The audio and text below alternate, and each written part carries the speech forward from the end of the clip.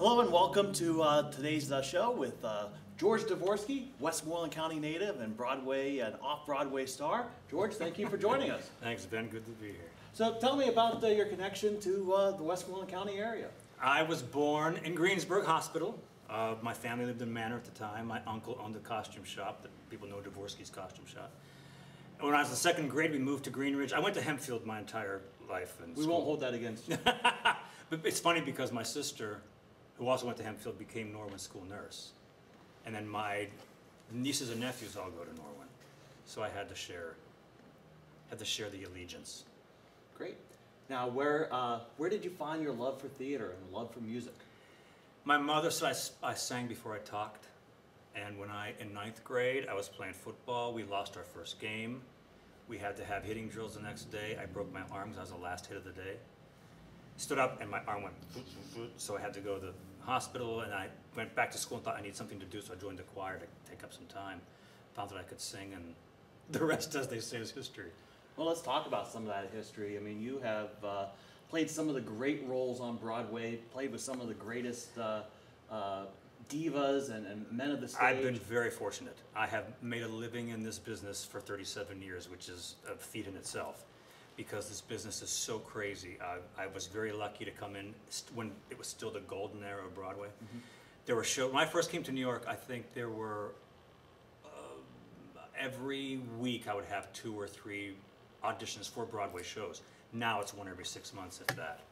But there were shows right and left, and it was just a much easier business to get into when I got into it back in 1984. 19 what?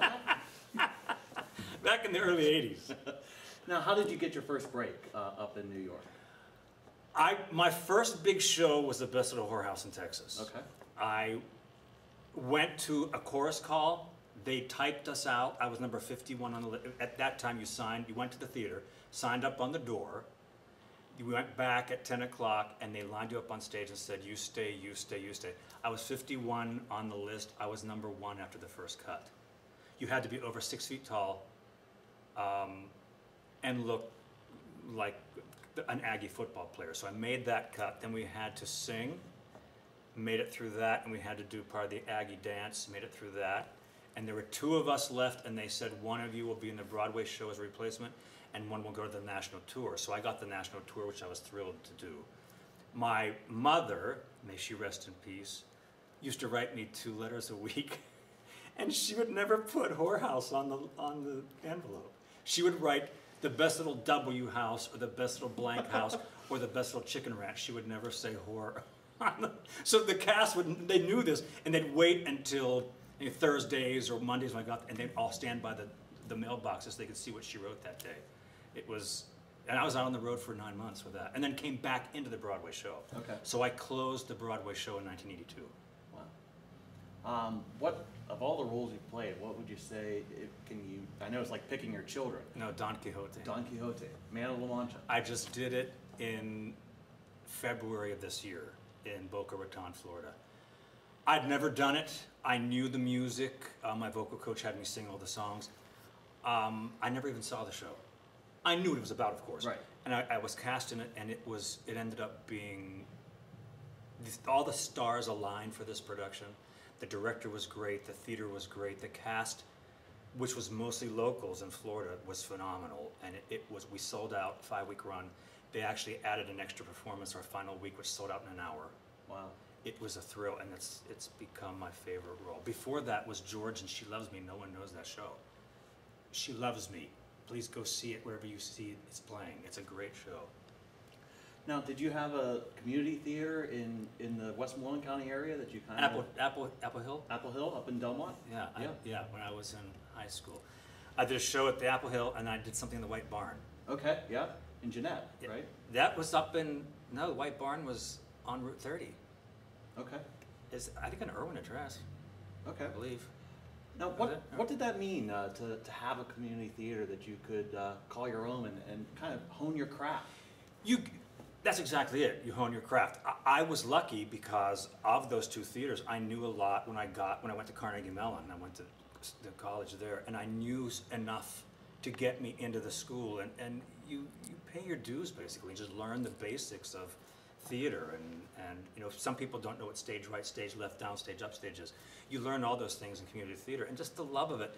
You know, people will say that Broadway is the epitome and that's what you want, that's what you reach for, but I have to say, of the six Broadway shows I have done, some of the regional and community things were actually better productions because people loved it so much and wanted to be there. Whereas in New York, I came off the road, like I said, I went to the Broadway company and I was so surprised that it was a job on Broadway.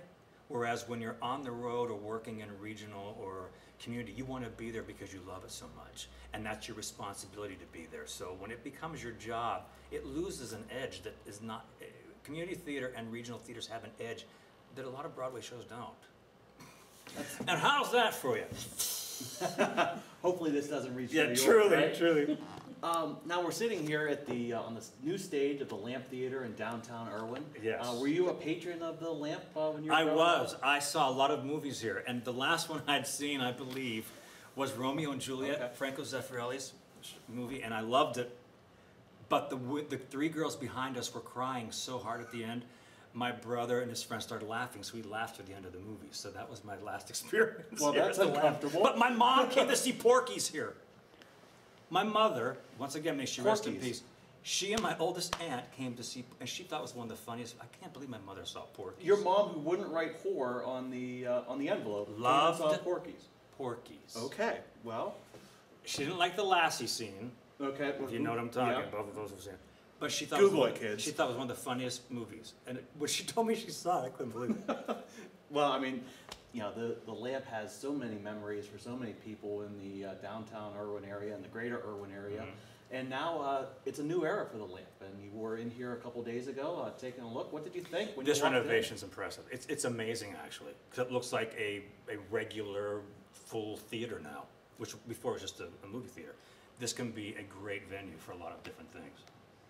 Now, why should people get involved at the Lamp and get involved in their local theater organizations?